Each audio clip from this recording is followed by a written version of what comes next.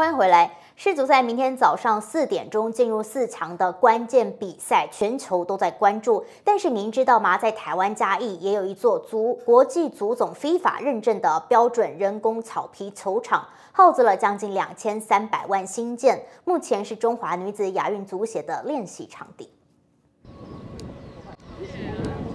一大片绿油油的人工草皮铺在石英砂和皮乌颗粒上，偌大的一个球场相当壮观。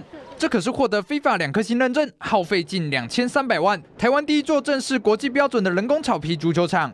要经过世界足总，然后由法国的技师，然后针对它的球场、它的弹力，还有它的一个平整度，还有它的整个就是力学的整个数据，然后来做一个取样。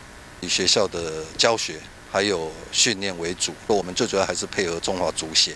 在人工草皮球场上练球，无论是发球、控球还是运球，都能随心所欲。最重要的是，比较不容易受伤，球员们都相当开心。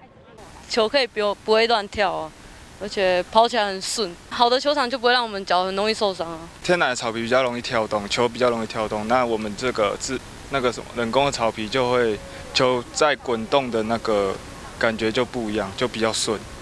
球场平整的话，你想把球做得很漂亮、做得很好的话，那相对上来讲，我们那种打球的品质相对上就会是一种提升。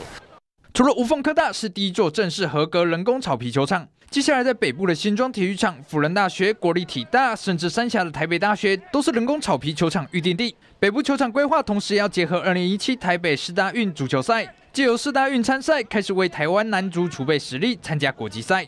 新唐人亚太电视侯瑞霞、方亚贤，台湾嘉义采访报道。